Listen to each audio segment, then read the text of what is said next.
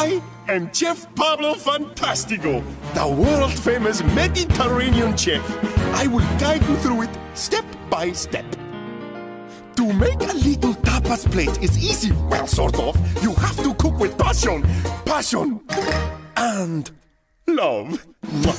At first, you take a slice of bread, now put it on a tray. By using fresh ingredients, you make it all okay. By using fresh ingredients, you make it all okay. And of course, olive oil. Uno, dos, tres. Si me gusta fruta. One, two, three. Viva Sports Candy. Wonderful. Are you ready for step two? Sí, sí, señor. Let's continue with passion and love.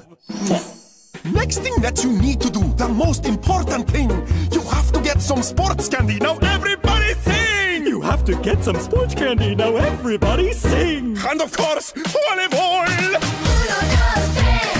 Si me gusta fruta. One, two, three.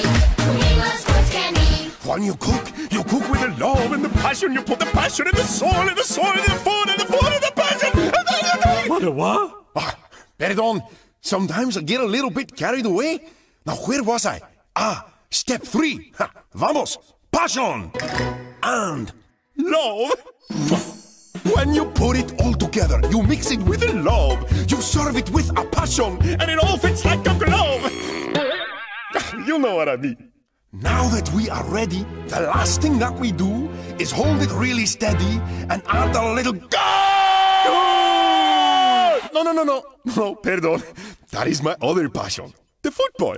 I meant to say is hold it really steady and add a little olive oil.